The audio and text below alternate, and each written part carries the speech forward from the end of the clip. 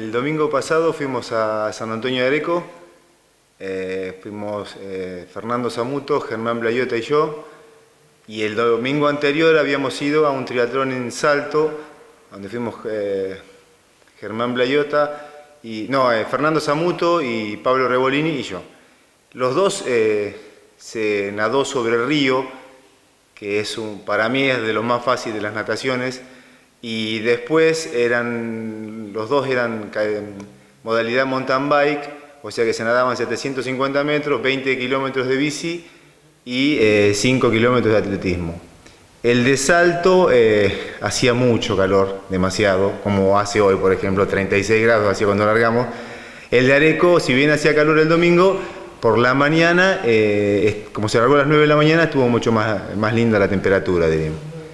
En el de salto eh, tuve la suerte de ganar la categoría y salir eh, segundo en la general. Y en el de Areco eh, había muchísima cantidad de gente, igual pude llegar 30 en la general y salir tercero en la categoría. En los triatlones va gente de, muchos lugares, sí, había gente de todos lados, y en el de Areco había bueno, 500 personas, o sea que había de todos lados.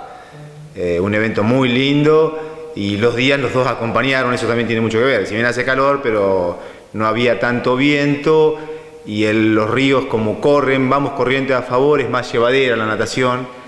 Eh, y bueno, después en la tierra la bici se siente un poco más que las bicis de ruta, el esfuerzo es un poquito mayor eh, y después ese esfuerzo se traslada cuando uno tiene que ir a correr, una cosa es pedalear sobre la bicicleta de ruta y bajarse a correr y otra cosa es pedalear sobre la bicicleta mountain bike, el esfuerzo es mayor y después correr. Pero bueno, nosotros estamos preparados para eso y nos agrada, diría. Eh, cuando uno tiene, se tiene que trasladar lo que aprendió en la pileta a la laguna o al río, hay una gran diferencia. Uno en la pileta que ve el fondo, tiene los bordes, tiene el carril.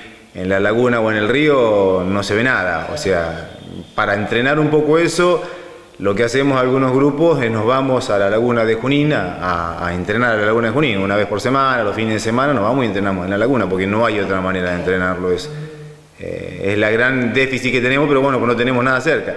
En un momento cuando teníamos algo de agua en la laguna íbamos a nadar a veces a la laguna de Chacabuco, que era lo más cerquita que teníamos, si no, no tenemos donde entrenar. Eh, este fin de semana, eh, Fede Di Tomaso y mm, Fermín Marini van al triatlón de Mar del Plata, que ahí es en el mar, o sea, un poquito más complicado todavía. Sí, y después el fin de semana que viene, vamos, este que viene no, el próximo, vamos a un triatlón que hay en Salto y después el 9 hay otro en Junín y ya creo que me parece que no nos queda mucho más porque ya el clima empieza a cambiar y no, no, o sea, se salta de los triatlones a la etapa de duatlones.